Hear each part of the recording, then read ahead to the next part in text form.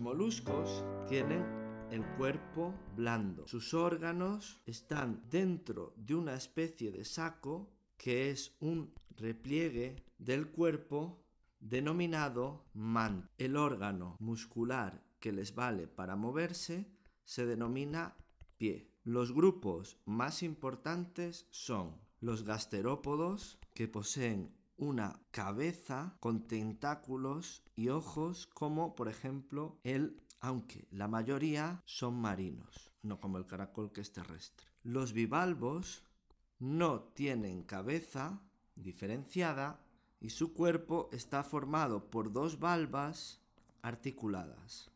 De ahí el nombre bivalvo. Un ejemplo serían las almejas o los mejillones.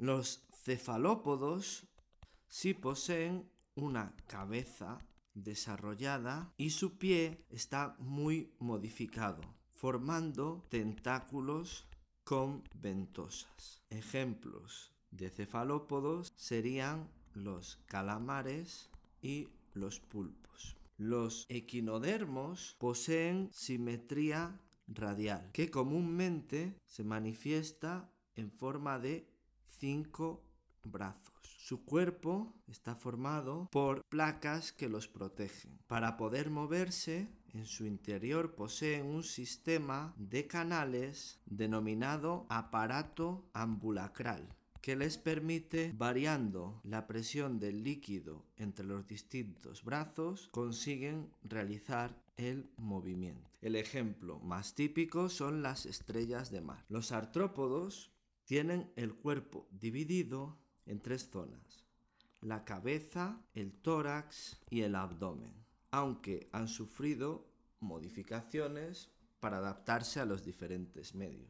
Además, poseen apéndices articulados. De ahí su nombre, artro, articulado, y podo, pie. Estos se han modificado para formar alas, antenas o patas en sus diversas adaptaciones a los medios en los que viven. Además, tienen un exoesqueleto que les protege tanto del medio, de la desecación, las temperaturas, como de los depredadores. Los grupos más importantes son los insectos que tienen el cuerpo formado por cabeza, tórax y abdomen.